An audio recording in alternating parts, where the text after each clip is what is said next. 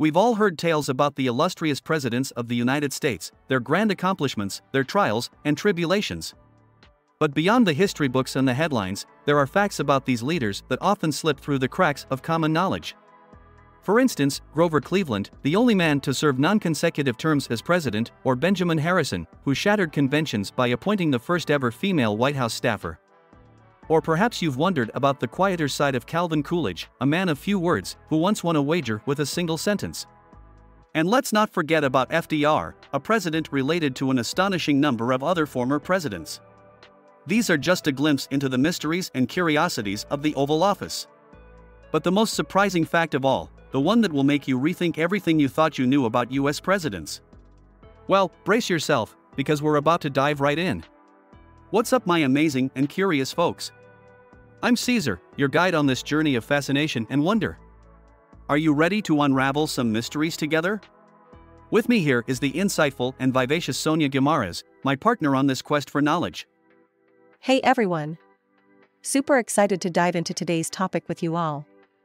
Remember, folks, don't just listen, join our community. Hit that subscribe button and ring that bell icon so you don't miss out on our daily episodes. This is the Curiosity Wonderland. Let's jump right into today's intriguing subject, shall we?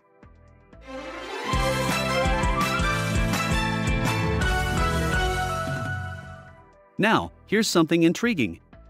Think about the US presidents, the ones we've learned about in school. You've got the likes of George Washington, Thomas Jefferson, Abraham Lincoln, and Franklin D. Roosevelt.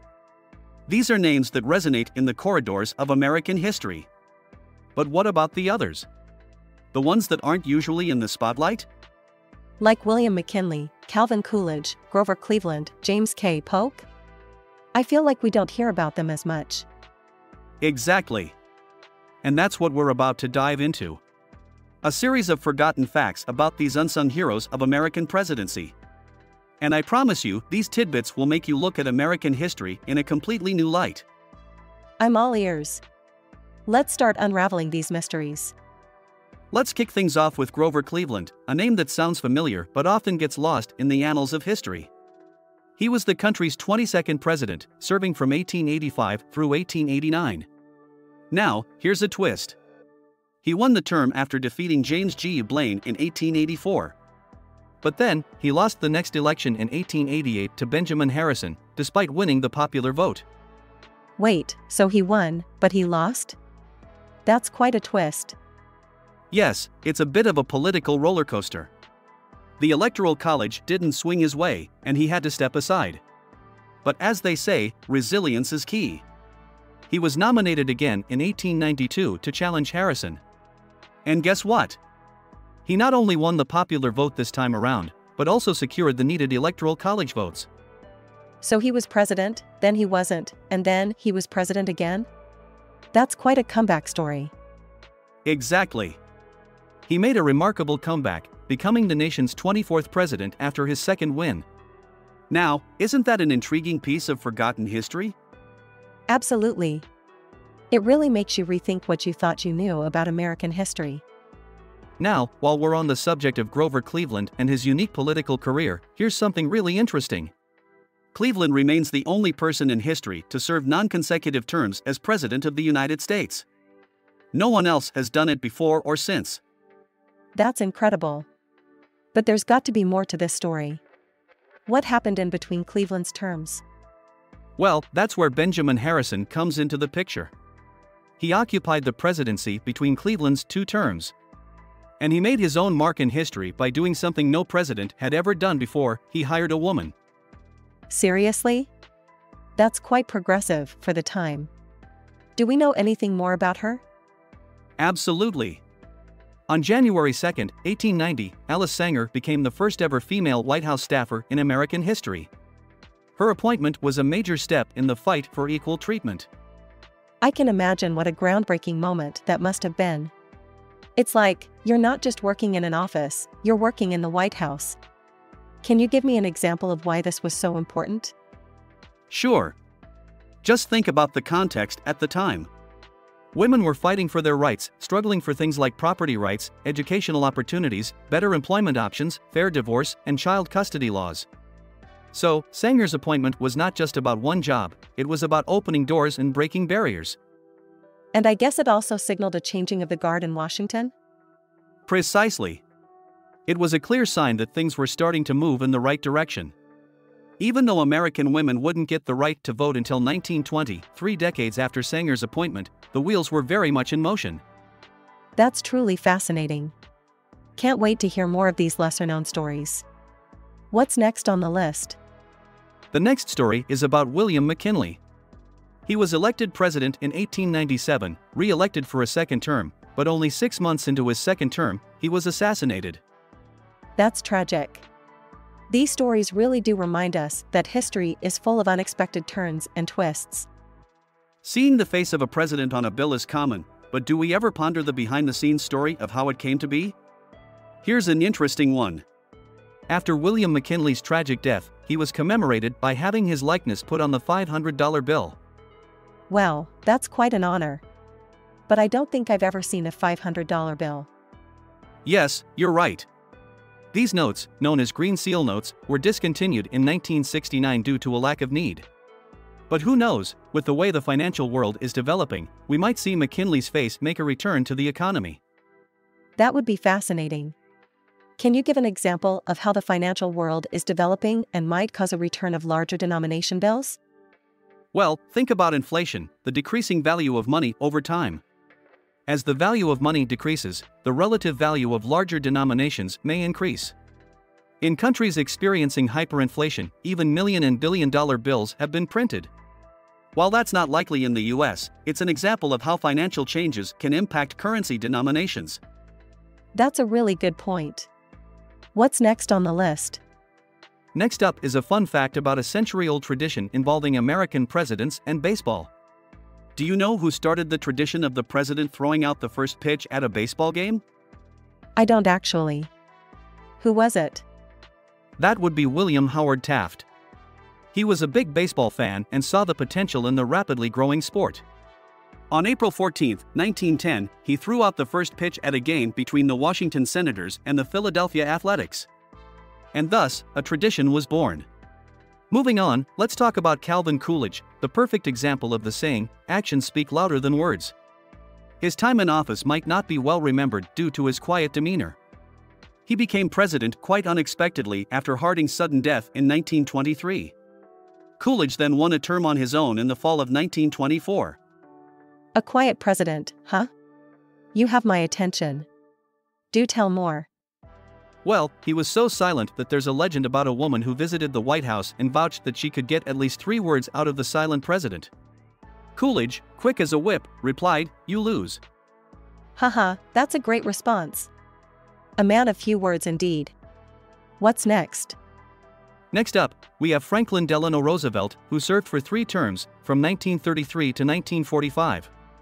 These were tumultuous times for the United States, with the worst years of the Great Depression and the battles of World War II. But there might have been something in his DNA that allowed him to lead the nation through these challenging times. In his DNA? Now that's a teaser. I can't wait to hear more about it. To elaborate more on Franklin Delano Roosevelt's DNA, genealogists have linked him to at least 11 other former presidents. 11 presidents. That's an impressive lineage. Who were these presidents? Well, Theodore Roosevelt was FDR's fifth cousin, so there was a direct link. But historians have also linked him to George Washington, John Adams, James Madison, John Quincy Adams, William Henry Harrison, Zachary Taylor, Ulysses S. Grant, Benjamin Harrison, and William Taft. He also has a more distant relation to Martin Van Buren. That's a lot of presidents. Any non presidential connections? Interestingly, yes. Some genealogists and historians have speculated that FDR has familial links to Winston Churchill and Robert E. Lee. Wow. That's quite a family tree. What's next? Next, we have Harry S. Truman. Did you know his middle name doesn't stand for anything? Really? That's unusual. Why is that? It was a family compromise to honor his two grandfathers, Anderson Shipp Truman and Solomon Young, without choosing one name over the other. Thus, the S stands alone. That's a neat way to honor family tradition. Are there any other presidents with similar middle name situations? Indeed, there is one more. Ulysses S. Grant was born Hiram Ulysses Grant. However, when he was nominated to the military academy at West Point, a congressman mistakenly changed his name and gave him the middle initial. Quite a story, isn't it, Sonia? Certainly is, Caesar. I'm learning so much today. What's next? Grant didn't mind the mix up with his name.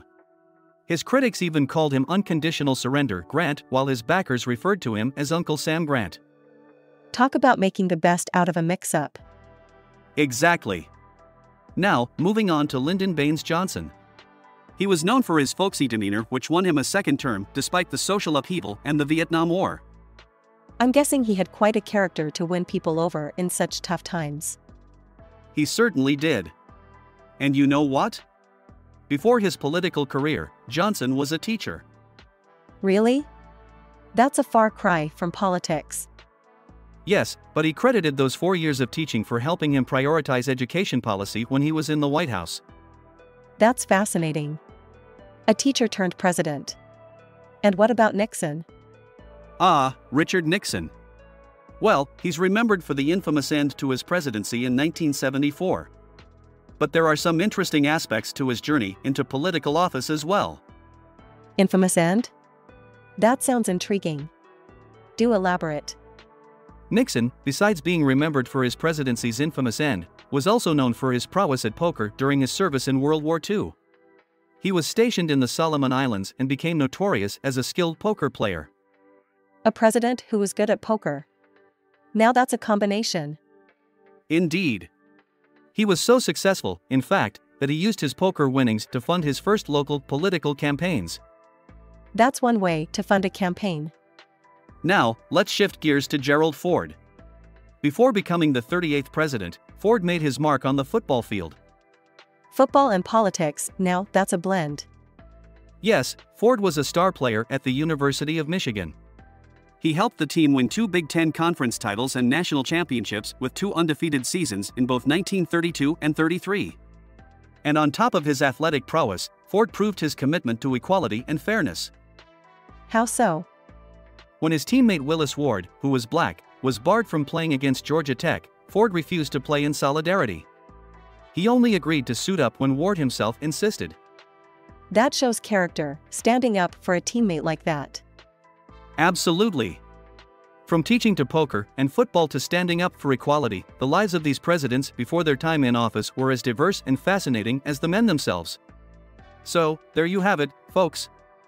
From Grover Cleveland's non consecutive terms, to Benjamin Harrison's pioneering appointment of a female White House staffer, to Richard Nixon's poker fueled political campaign, and Gerald Ford's football glory and stand against racism, we've unraveled some lesser known tidbits about former U.S. presidents. These forgotten facts tell us that the lives of these presidents were as diverse and fascinating beyond the Oval Office as they were in it. Absolutely, and it just goes to show that the people who shape the course of history have their own unique stories and paths that led them there. It's been a fascinating journey uncovering these hidden gems. Remember, history is not always about the big events. Sometimes, the most fascinating details are the ones hiding in plain sight. So true. And on that note, we've come to the end of today's episode of Curiosity Wonderland. If you've enjoyed unraveling these presidential mysteries with us, don't forget to blast that like button, leave a comment, and share this episode with your friends. Yes, let's keep the curiosity alive and keep sharing these wonderful stories. We appreciate your company and look forward to our next exploration together. Until then, stay curious. Caesar Chagas and Sonia, goodbye. We found this intriguing information from an article titled 10 Forgotten Facts About U.S. Presidents written by Selme Angulo, published on Listverse on September 25, 2023. You can find the full URL in the video description if you want to delve deeper into the subject. Now, it's time for us to bid you farewell.